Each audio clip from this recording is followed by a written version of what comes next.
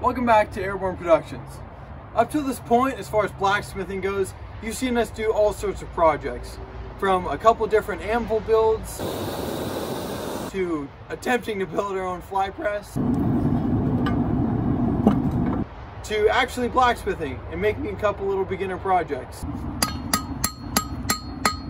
At this point in our blacksmithing, we realize that we need a press. However, they're pretty expensive. So the most affordable alternative was to take a small hydraulic press like this log splitter and convert it. So in its current configuration, the log splitter is obviously meant to split logs. This pointy boy pushes against the log that sits against this flat boy and it splits the log. We don't want that though. We want a forging press.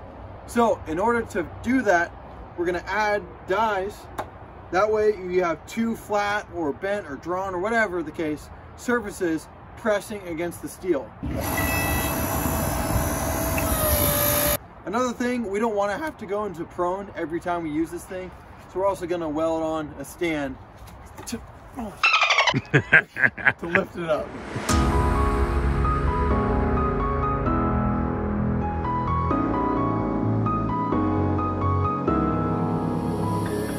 Okay, so we took off the unnecessary stuff that we don't need. And next up, we're going to attach four legs, weld two here, bolt two back here, and then attach metal dies so that we don't have these contacts, we have flat pieces contacting.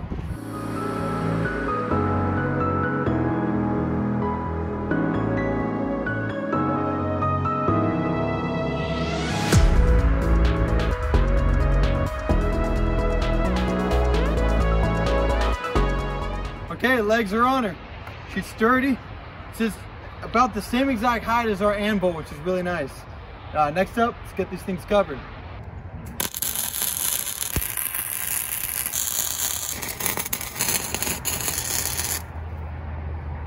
Alrighty, so we're getting the first die together.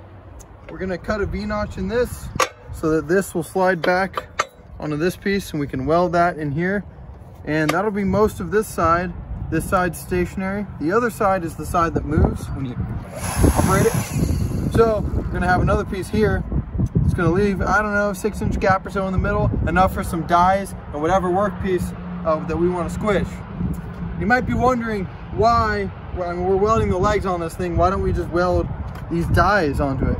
Well, we might someday maybe want to use it as a log splitter. We do have logs to cut down.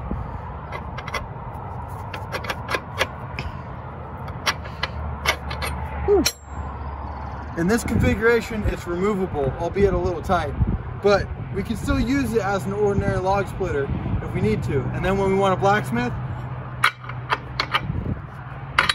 good to go.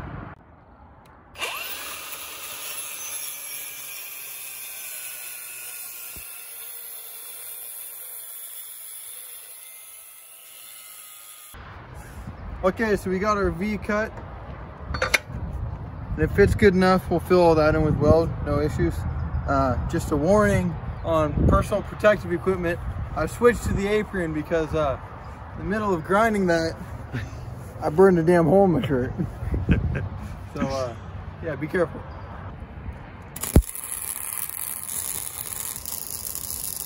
T-shirt.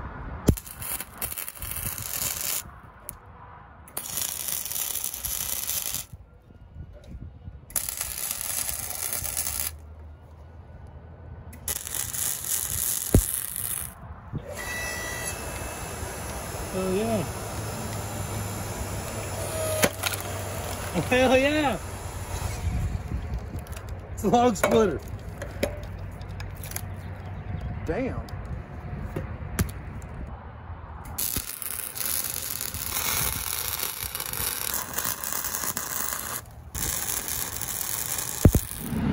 And here she is.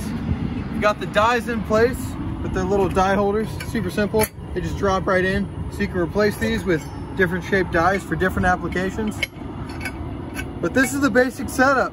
So right now we have our forge going. We're letting that heat up. But then we're gonna show you guys how well it squishes.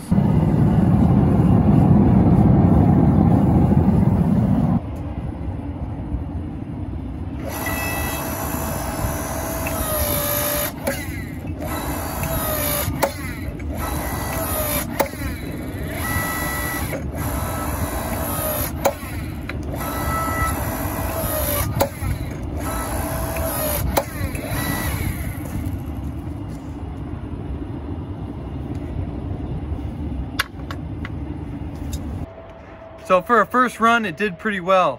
Uh, it crushed the steel much more than we could have crushed it off of one heat with the hammer. And it's actually pretty impressive uh, how much force this thing really delivers. If you notice, this took two of us to operate.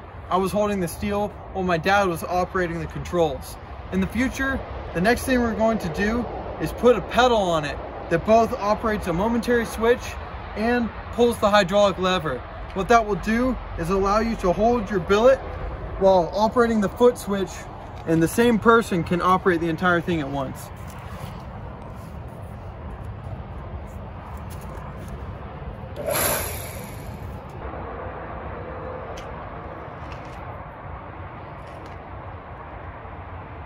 So if you haven't done so already, please like, comment, and subscribe.